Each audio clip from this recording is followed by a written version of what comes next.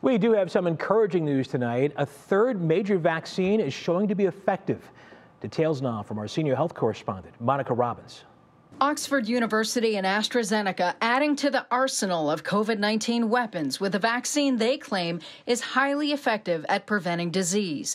Beneficial in two ways. The study found two full doses a month apart was only 62% effective, still better than the 50% efficacy required by the FDA. However, when they gave patients half a dose first and then a full dose a month later, it was 90% effective. That will help save on vaccine when it's in limited supply at first. And while it's slightly less effective than the Pfizer and Moderna products, this one is reportedly cheaper and easier to transport and only needs refrigeration, not the freezers the other two require, making it easier to maintain in doctors' offices and local pharmacies. University Hospitals is part of the clinical trial testing this vaccine.